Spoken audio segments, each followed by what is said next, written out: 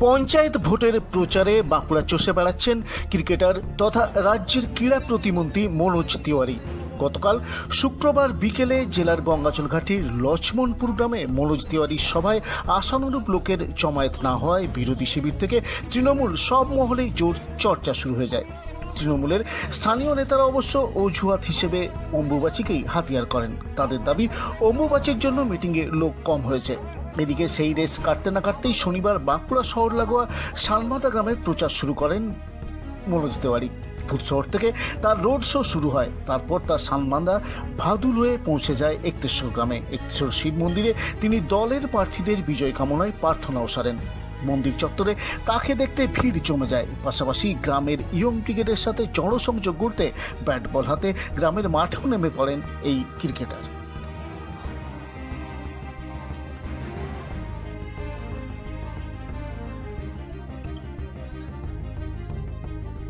Wait up, wait up, wait up.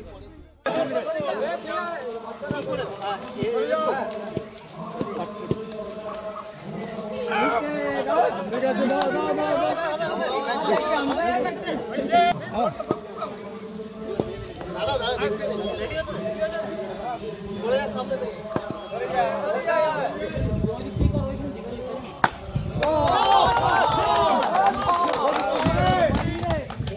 দেখো, বাবার কাছে এসে প্রার্থনা করলাম যেন আমাদের যে কটা প্রার্থী আছে, আর তাদের পেছনে যেভাবে আমাদের দলের কর্মীরা সক্রিয় কর্মীরা যেভাবে পরিশ্রম করছে, আর মানুষের যে জোয়ারটা দেখলাম, আজকে প্রচারের মধ্যে মানুষ সবাই অনেক খুশি আছে, আমাদের মাননীয় মুখ্যমন্ত্রী যেভাবে আমাদের সরকার চালাচ্ছে, আর যেভাবে প্রকল্পগুলো মানুষের বাড়ি বাড়ি পৌঁছে দিচ্ছে, গ্রাম পঞ্চায়েতে পৌঁছে দিচ্ছে, বিভিন্ন উন্নয়নের কাজ হচ্ছে তো এইসব লক্ষ্য করে আমাদের অনেক দীর্ঘ বিশ্বাস কি আগামী দিন যে ইলেকশনটা হচ্ছে পঞ্চায়েতে সেখানে আমাদের বিপুল জয় হবে।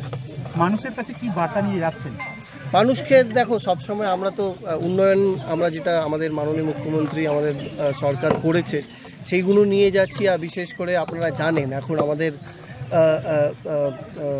কুর্মী সমাজে যে আমাদের সম্প্রদায় আছে তাদের একটা দাবি ছিল সেই দাবিটাকে আমাদের এসটিতে তালিকার মধ্যে আনার যে দাবি তারা আন্দোলন করেছিল, সেটাকে দিদি, মাননীয় মুখ্যমন্ত্রী তাদের কাছে গিয়ে, তাদের ভাই বোনেদের কাছে গিয়ে কথা বলে, সেটা কেন্দ্র সরকারে গিয়ে চার চারবার সেখানে দরখাস্ত করেছে যেন ওইখানে গিয়ে তাদের কথা পৌঁছে দিয়েছে। তো ওনাদের জন্যও চিন্তাভাবনা হচ্ছে। প্লাস আমাদের, আপনারা জানো, জানেন গ্রামের রাস্তাগুলো রাস্তার জন্য একটা নতুন আমাদের বাজেটে প্রায় বারো হাজার কিলোমিটার রাস্তা হবে গ্রাম পঞ্চায়েতের পথশ্রী রাস্তাশ্রী প্রকল্পতে।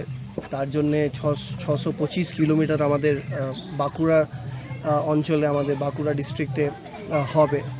আর জলের যেই সমস্যাগুলো আছে সেইগুলো জলের উপরেও কাজ চলছে। সো বিভিন্ন রকমের কুটির শিল্পী বলো বা শিল্পী যারা আছে, তাদেরকে বাঁচানোর জন্য আমাদের সরকার, মাননীয় মুখ্যমন্ত্রী, আমাদের বিশ্ব বাংলাতে তাদের যে শিল্পগুলো আছে সেইগুলো বিক্রি কীভাবে হবে তাদেরকে বাঁচানোর জন্য তাদের ব্যবস্থা করে রেখেছে। আর পুরো বিশ্বতে প্রায় এই কুটির শিল্পী যারা আছে তাদের শিল্পরা যারা আছে তাদেরকে পুরো বিশ্বতে পৌঁছে দেওয়ার ব্যবস্থা করছে। আর বিভিন্ন রকমের উন্নয়নে তো কাজ হচ্ছে।